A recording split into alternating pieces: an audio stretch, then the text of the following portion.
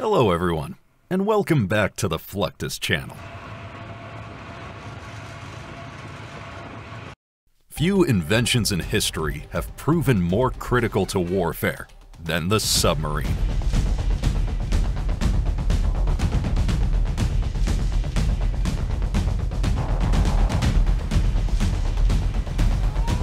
Since the First World War, submarines have played a pivotal role in dozens of global conflicts.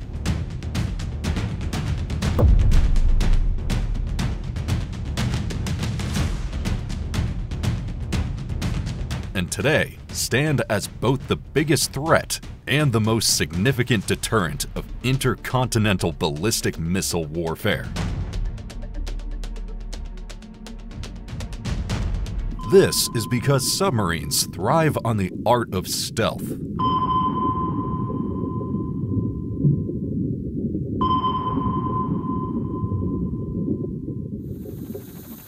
They can infiltrate enemy waters, attacking and then exiting the area before a counterattack can be launched. In this way, the biggest threats to submarines are other submarines, which use sophisticated techniques and advanced technology to detect enemy vessels, no matter how hard they try to hide.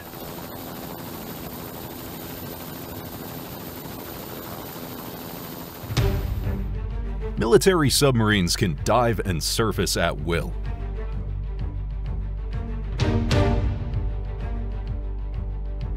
Sometimes reaching depths of up to 1,000 feet.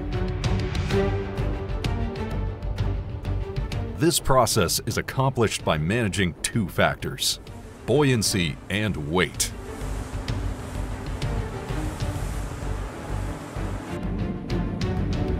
To dive, the submarine takes water into its ballast tanks, which increases its weight and decreases its buoyancy, causing it to sink.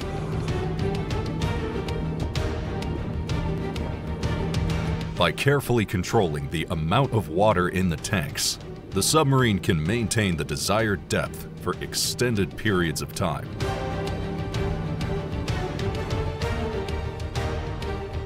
To the surface, the submarine expels water from its ballast tanks using compressed air.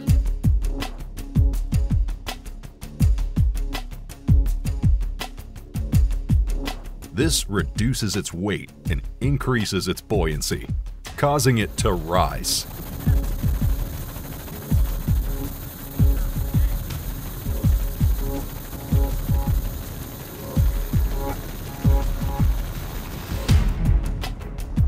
One of the most critical assessments of a submarine's crew and equipment is EHCTV testing. Short for Encapsulated Harpoon Certification Training Vehicle, EHCTV testing. This process is designed to certify a submarine's capability to carry and deploy Harpoon missiles under combat conditions. The Harpoon missile system provides submarines with a significant enhancement in their offensive capabilities, particularly against surface targets. It is designed for all weather conditions and can engage targets at long ranges, making it a strategic asset in naval warfare. EHCTV testing typically involves launching a training version of the Harpoon missile from the submarine. This training version mimics the actual Harpoon missile's size, weight, and operational characteristics, but without the warhead. The test assesses various factors, such as the integration of the missile system with the submarine's combat system, the crew's ability to handle and launch the missile, and the missile's performance during the launch phase.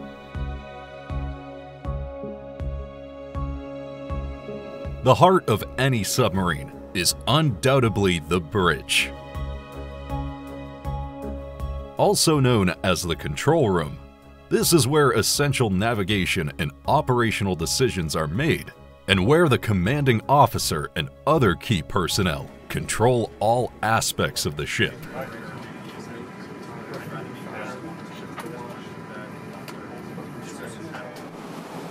As with early submarines, modern nuclear subs still use periscopes.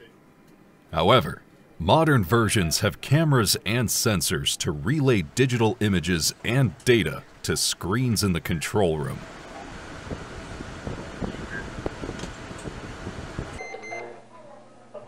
Nearby are the ship's sonar and navigation systems, radar, and communications arrays.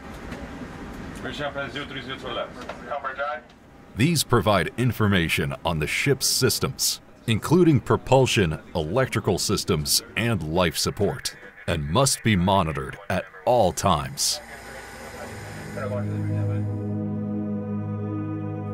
While the commanding officers might get all the prestige, many experts consider the most crucial job on board a submarine to be the sonar technician.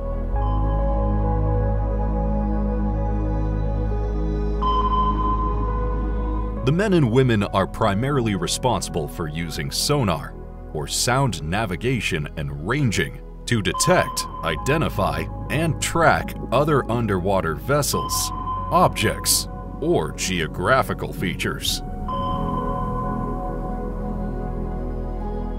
Sonar technicians are trained to analyze and interpret sonar data properly so that they can distinguish between other subs, surface ships, or marine life and assess potential threats or navigational obstacles.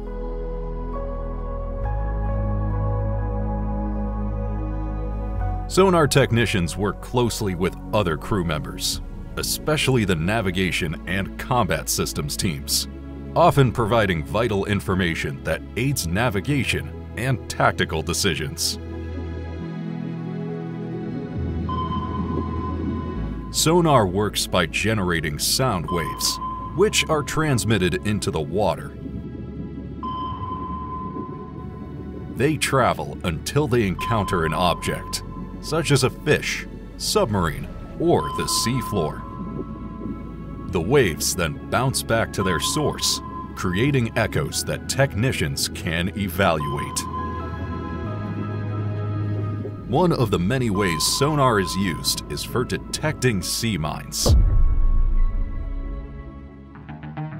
In 2020, Northrop Grumman introduced a new mine hunting sonar known as AQS-24. They tested the equipment aboard a mine countermeasures unmanned surface vessel to prove that the mine detection process could be safely and effectively automated.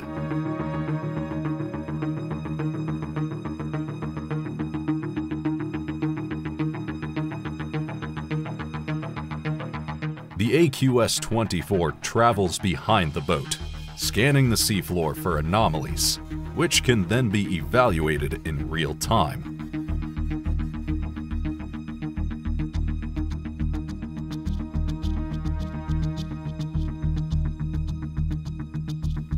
Northrop Grumman is not the only company looking to tackle the sea mine problem.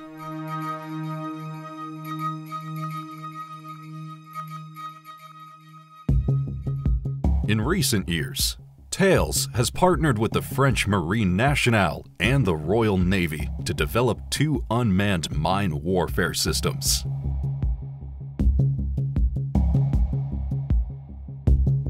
Similar to the Northrop Grumman design, the sonar buoys are pulled behind an unmanned boat.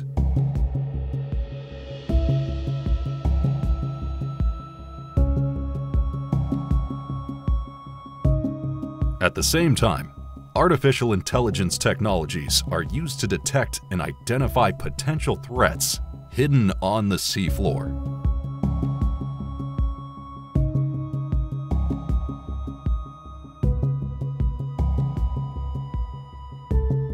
Since even decades-old mines can still prove deadly for commercial and military vessels, it's hoped that these autonomous solutions will aid in detection and help prevent future incidents.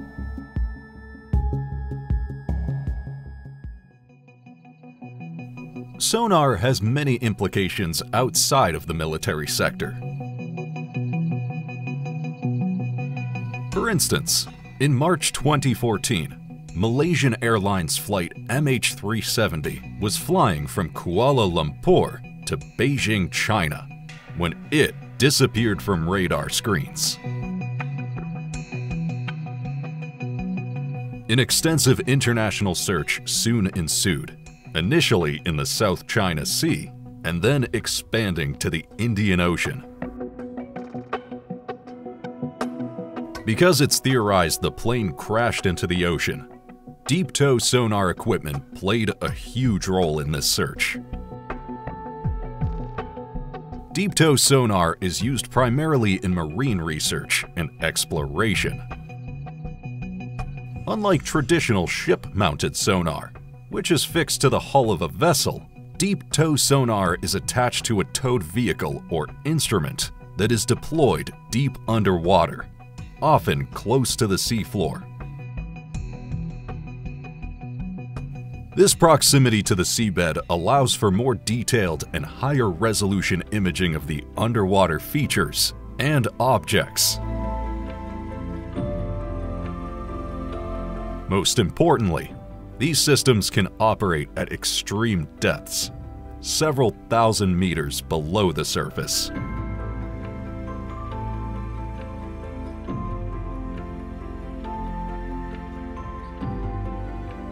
Numerous companies and organizations have participated in the search for MH370, including Ocean Infinity, Ocean Infinity is a marine robotics company that specializes in using robots to gather information from the ocean and seabed.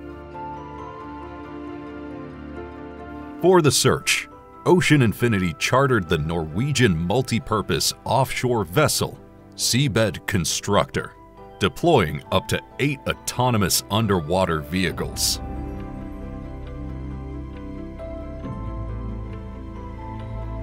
These AUVs were equipped with various scanning technologies, including side-scan sonar, multi-beam echo sounder, bottom profiler, high-definition camera, environmental sensors, magnetometer, and synthetic aperture sonar. The search area initially covered 33,012 square kilometers, eventually expanding to 120,000 square kilometers. Despite extensive efforts, the search concluded without yielding any positive results. Ocean Infinity generally uses its sonar technology for seafloor mapping and exploration. However, sonar is not the only way to accomplish this. Another popular method involves using seismic surveying. Over the years, specific ships have been developed for seismic surveys. One of the most interesting and unique of these is the Ramform Atlas. At first glance, it actually appears as if half of the ship is missing, but this design is both very deliberate and very functional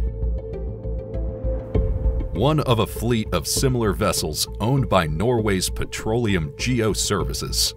The Ramform Atlas is equipped with 24 hydrophone streamer reels in two rows, with 16 reels in the stern and 8 further forward. This allows it to tow a network of sensors over an area greater than 4.6 square miles. The Atlas is designed explicitly for advanced seismic acquisition programs and has already played an essential role in the ongoing search for undersea resources. Along with its sister vessels, the Titan, Tethys, and Hyperion, it will likely continue to serve in this capacity for years to come.